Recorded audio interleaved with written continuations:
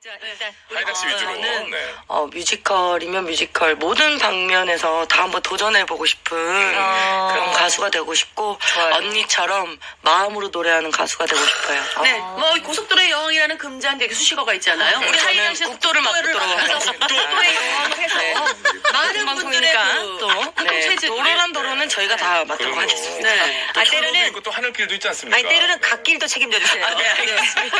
여왕은 박기진 씨가. 아, 네, 내가 할까? 깎아라, 깎아. 네.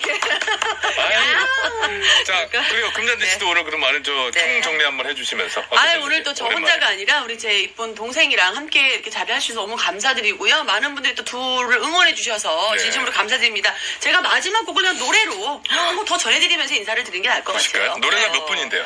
아, 노래 뭐 길면 자르셔요. 제가 아니, 아니, 그게 아니라. 짧은 게 문제라서. 네. 얘기를 좀더 하도록 하겠습니다. 아, 그래요? 자, 4684님이 문자, 아 그래요. 어, 그래요. 4684님 문자 좀 주셨는데, 기대했던 거에 몇 배나 네. 꽉찬 행복한 시간이었다고. 네. 하셨고, 고맙습니다. 제비꽃님도 여자들의 의리가 더 멋진 듯합니다. 그래요, 진짜. 그래요, 맞아요. 맞아요.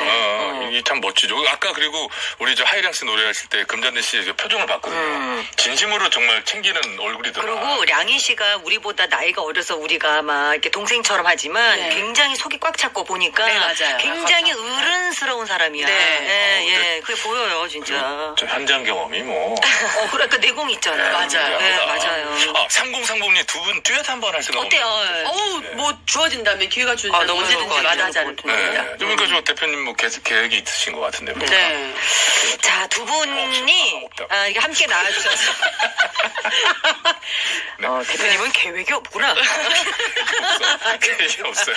자, 이제 노래 들으시면서 마무리 예. 잘 하도록 하겠습니다. 두 분 오늘 함께 해주셔서 너무너무 감사하고요. 직접 감사합니다. 본인의 끝곡 소개해 네, 소개해주세요. 네, 어, 신곡입니다. 시치미 뚝 떼고 간다 일때 시치미를 내놓고서는 코로나 때문에 여러분들께 무대에서 인사를 드릴 기회가 없었습니다. 네, 다 오늘. 구호고쇼를 통해서 시치미 라이브를 한곡 전해드리면서 인사드릴게요. 늘 건강하시고요. 구호고쇼에서 다시 또 만나요! 아우, 안녕! 깔끔한 마무리! 저희는 뭐 내일 다시 뵙겠습니다. 하이랑 씨도 안녕. 안녕히 계세요. 들